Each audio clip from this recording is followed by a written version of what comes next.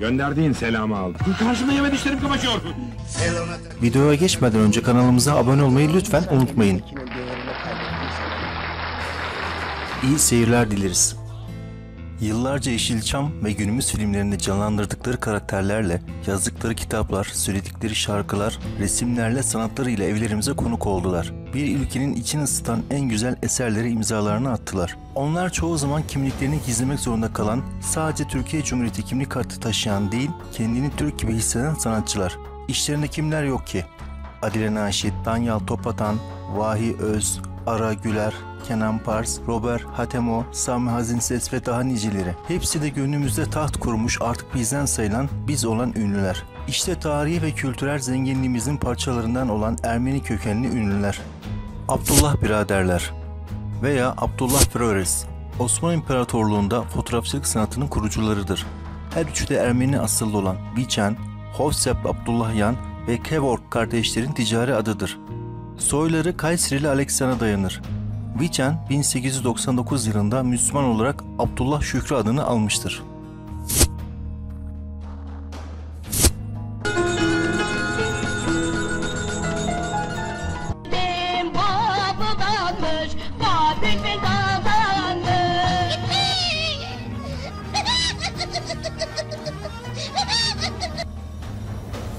Adile Naşit ya da gerçek adıyla Adile Özcan.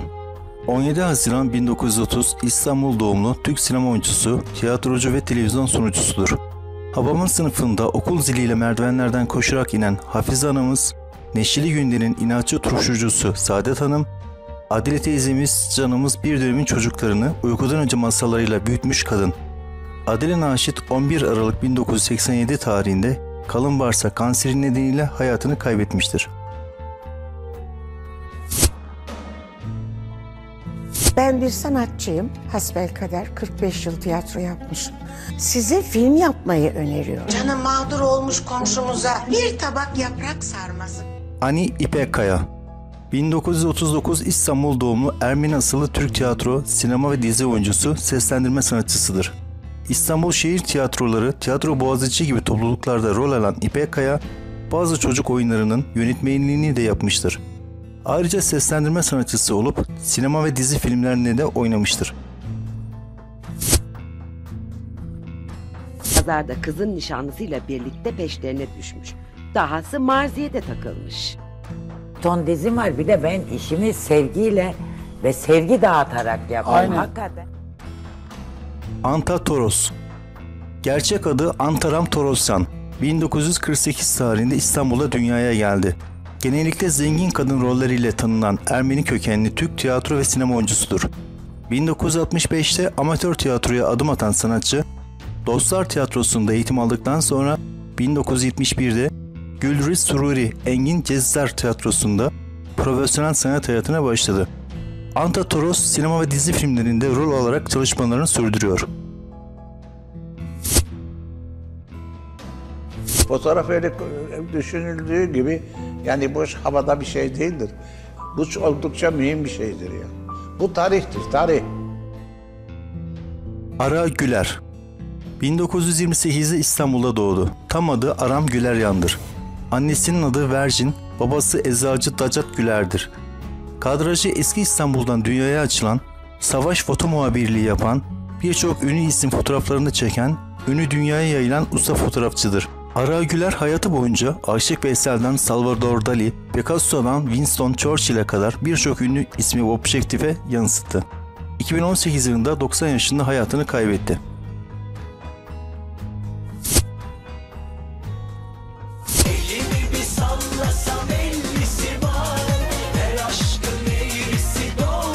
O doğuşu saksısının küçük olmasıyla alakalıydı. ben saksıma güveniyorum.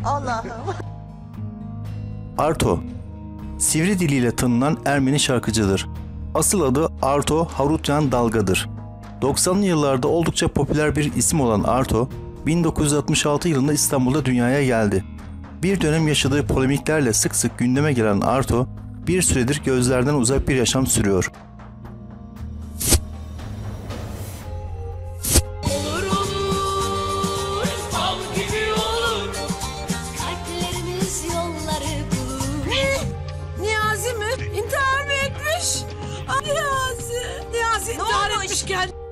Asu Maralman Asıl adı Silvia Bursalıoğlu'dur.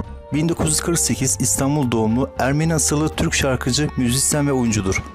70'li yılların en popüler isimlerinden olan Asu Maralman birçok film ve dizide oynamıştır. Bir gün belki hayattan İşçisin sen işçi kal Gece bir saatçiyim Gülhane Parkı'nda Bindik alamete Gidiyoruz kıyamete Naber kim gene geldi şapka reprem Ana baba bacı kardeşler günümde el ol Cem Karaca 1945 yılında İstanbul'da doğdu. Türk rock müziği sanatçısı, besteci, tiyatrocu, sinema oyuncusudur. Ermeni asıllı Toto Karaca ve Azeri asıllı tiyatrocu Mehmet Karaca'nın oğludur. Anadolu rock türünün kurucularındandır. Birçok grupla Apaçlar, Kardeşler, Moğollar ve Dervişan çalışmış, grupların kurucu ve yöneticisi olmuş, güçlü bir rock kültürü yaratılmasının öncülerinden olmuştur. 2004 yılında solunum ve kalp yetmezliği nedeniyle yaşamını yitirmiştir. Ben sizin yerinizde olsam yalnız bu programı izlerdim. Çünkü ben yalnız bu programdayım. Şimdi seni methediyordum. Senin ne kadar değerli olduğunu bana anlatıyordu. Herkes gider Mersin'e ben giderim tersine. O dıp çıs dıp çıs başladı mıydı benim kafa böyle şey oluyor yani. Cem Özer 5 Ekim 1958 tarihinde Kahramanmaraş'ta dünyaya geldi. Annesi Arşaluş İştolop Ermeni kökenli olup babası Çerkes kökenlidir. Televizyonda Laf Lafa Açıyor adlı programın sunuculuğuyla tanındı. Çeşitli sinema, film ve dizilerinde rol aldı. Modacı Esin Maraşlıoğlu ve oyuncu Nurgül Yeşilçay ile evlilikleri oldu. Toplamda 5 kez evlendi.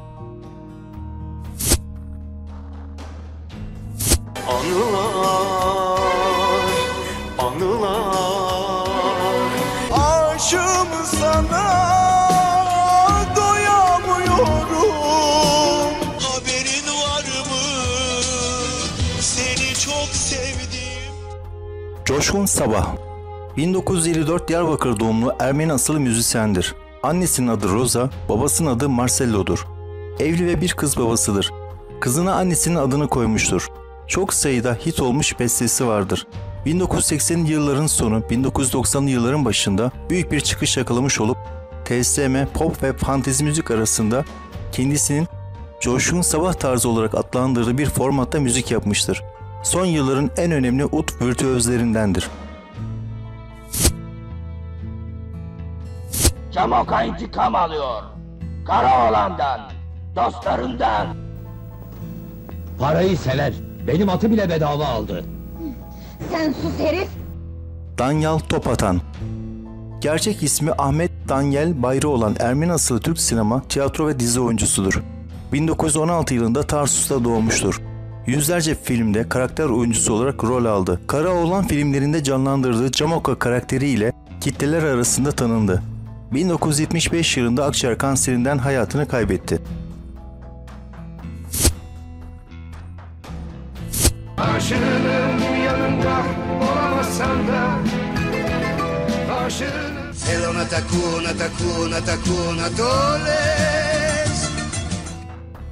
Fedon Sanat dünyasında Fedon olarak tanınan Fedon Kalyoncu, 1946 yılında İstanbul'da dünyaya gelmiştir. Fedon'un annesi Ermeni, babası ise Rum asıllıdır. Sahne şovlarında söylediği Yunanca şarkılarla, kırdığı tabaklarla ve kıvrak danslarıyla döneme damgasını vuran isimlerden biri olmuştur. Tavernalar kralı olarak bilinir.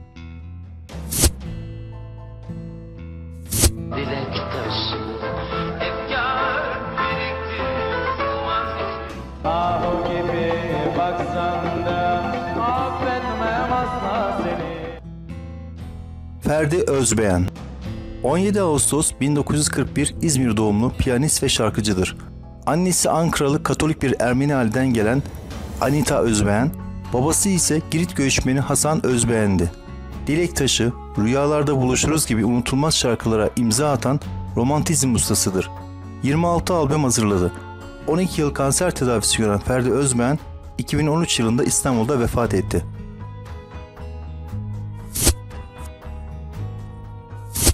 Fabrikanın müdürlüğüyle her yıl artacak bir hisse üzerinden ortaklık teklif ediyorum.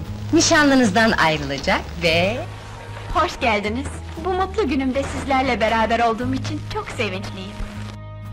Figen Say Asıl adı Meri Özbayıklayan olan Say, 1946 tarihinde İstanbul'da doğdu. 1960'ların sonunda yıldızı parlayan Figen Say, 49 film çektikten sonra sinemayı bıraktı. 1967 yılında Müslüman olduğu ve adını değiştirdi. 1970'te şarkıcı olarak gazino sahnelerine çıktı. Daha sonra evlenip sinema ve sahneyi bıraktı. Azerbaycan, Türkiye, Ermenistan. Yıllarca bu topraklarda hepsi dost olarak yaşamış. İki kişiliği çok güzel oynuyorsun. Hatırlarsan kendi parçalarını güzel yaptın.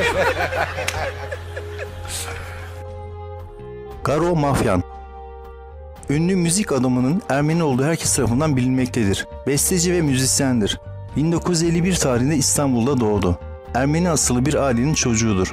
Türkiye müziğine sayısız eser kazandıran müzisyen, yapımcı, besteci ve aranjör kimliğiyle tanınan Garo Mafyan, 13 yıl musiki eserleri sahipleri grubu meslek birliğine başkanlık yapmıştır.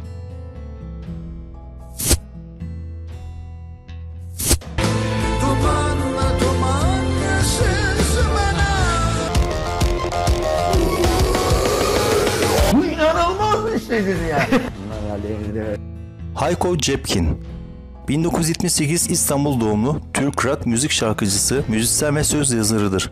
Birkaç film ve dizide de oyunculuk denemeleri yapmıştır.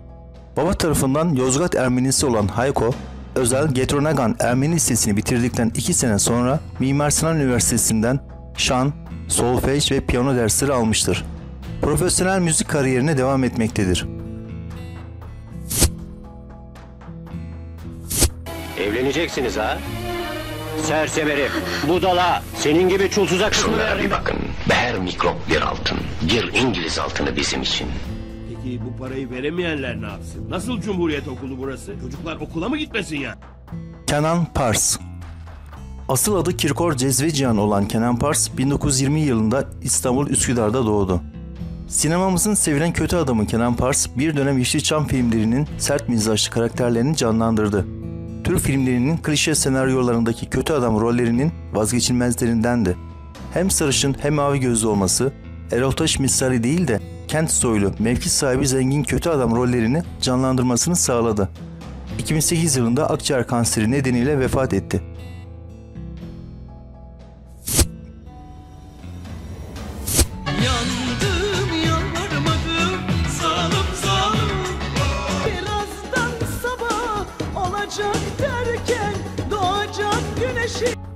Mine Koşan Gerçek adı Armine Koşaryan, arabesk müzik ses sanatçısı ve oyuncusudur. 1958 yılında Mısır'ın başkenti Kahire şehrinde dünyaya geldi. Annesinin adı Nemzar Koşan'dır. 7 yaşındayken babasının teşviğiyle müziğe başladı. 1978'de Arapça konser vermek için Mısır'a gitti. Klasik Arap Orkestrası eşliğinde akustik Ekat Seyit Derviş Salonu'nda 3 ayrı konser verdi. 3 evlilik yaptı. Üçüncü evliliğini Popstar Alaturka yarışmasında birinci olan Erhan Yeşil ile yaptı. 2010 yılında nikah masasına oturan ikilinin evliliği kısa sürdü.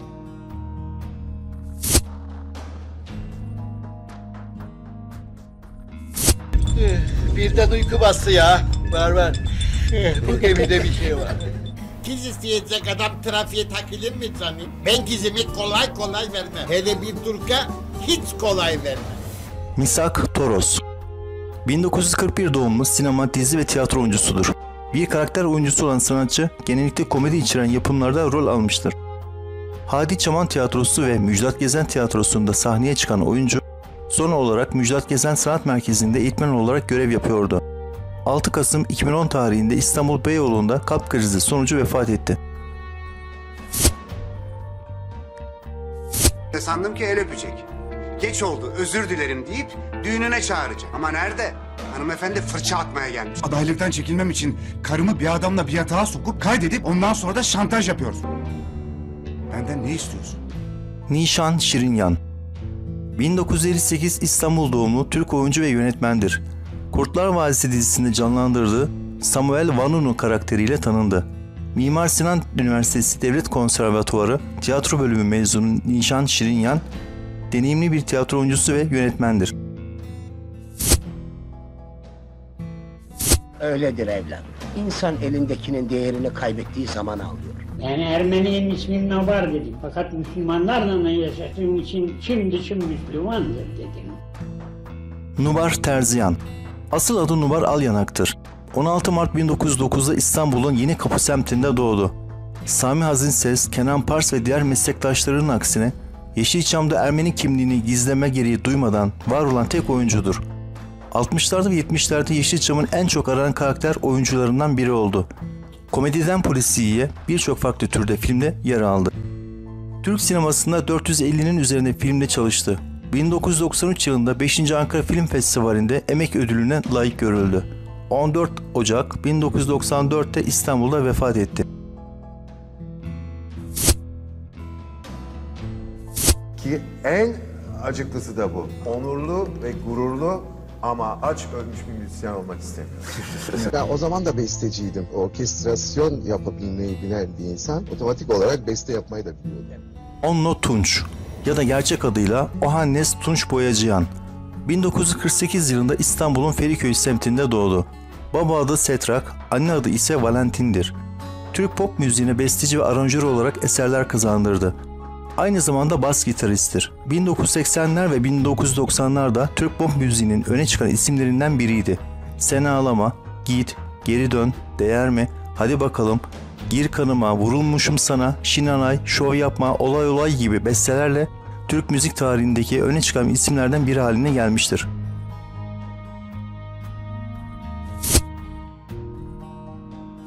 Neden satılmasın? Sen de zamanında bana 50 kayme verip almadın mı? E belki sıkışmıştır adam. Üçüncü Selim hatırasıdır. Aslanım o kamayı vermez. Ortans Kıvanç 1948 doğumlu Ermeni asıllı Türk tiyatro, sinema ve dizi oyuncusudur. Bir dönem şehir tiyatroları kadrosunda yer alan sanatçı Ortans Kıvanç, Hamdi Alkan Tiyatrosu, Abdullah Şahin Tiyatrosu, Münir Özkul Tiyatrosu, Sadir Alışık Tiyatrosu gibi topluluklarda çalıştı. 1993 yılından sonra sinema ve filmlerde de rol aldı. Süper Baba dizisi, En Son Babalar Duyar ve Altın Mantı gibi dizilerde rol almıştır. Esmer sevdim herkes hayran Esmer yarim yaradana kurban Bence artık kimse star olmayacak. En fazla fenomen olacaklar. Efsane hiç olamayacaklar. Robert Hatemo 1974 Çanakkale doğumlu Ermeni asıllı Türk şarkıcıdır. 90'lı yıllarda müzik piyasasında fırtına gibi esen sanatçı, ilk albümü Esmer'i 1997 senesinde müzikseverler ile paylaşmıştır. Bugüne kadar 7 albüme imza atmıştır. En çok ses getiren albümü Sihirli Değnek olmuştur. Sade bir hayatı bulunan Robert Hatemo, müzik dünyasında şu sıralar sessizliğini koruyor.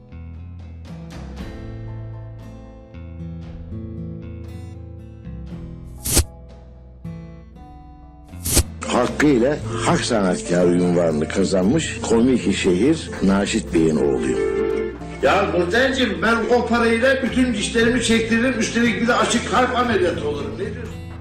Selim Naşit Özcan 18 Ağustos 1928 tarihinde büyük tuluat ustası Naşit Özcan Bey ile kantocu Ermeni Ameli Hanım'ın oğlu olarak İstanbul'da dünyaya geldi.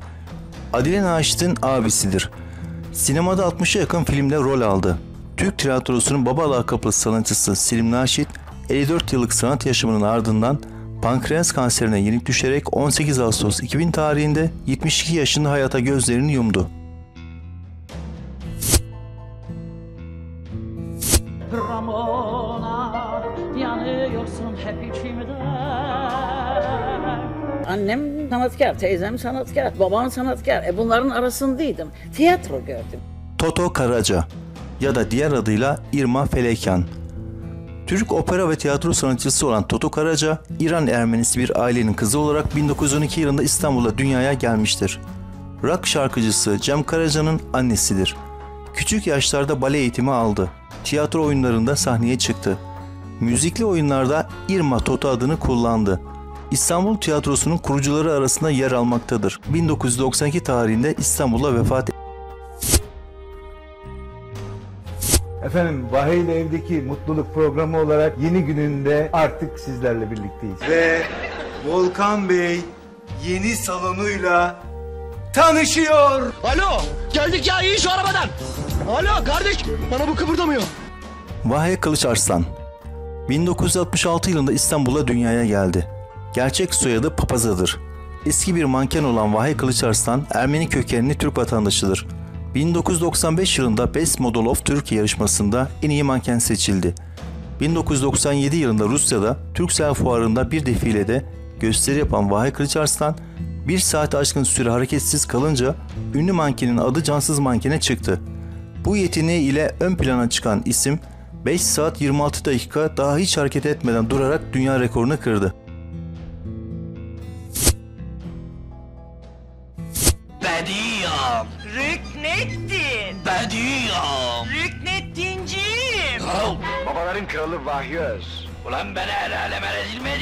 Kasada kırk para yok. Sana kahvenin ocağına emanet ettiysek ocağıma incir dikesin diye gel. Vahi Öz 3 Kasım 1911'de İstanbul'da doğdu. Asıl adı Vahe Ozinyan'dır. Türkiye Ermenisidir.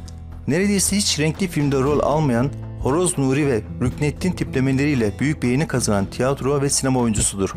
Komedi filmlerinde Mualla Sürer ile beraber iyi bir ikili oluşturdular. 1964 yılında Serengil plak için bir 45'lik yaptı. Oyunculuğunun yanı sıra yönetmenlikte yapmıştır. 1968'de kendi adına bir de tiyatro topluluğu kurdu. 1969 yılında prostat kanserinden vefat etti.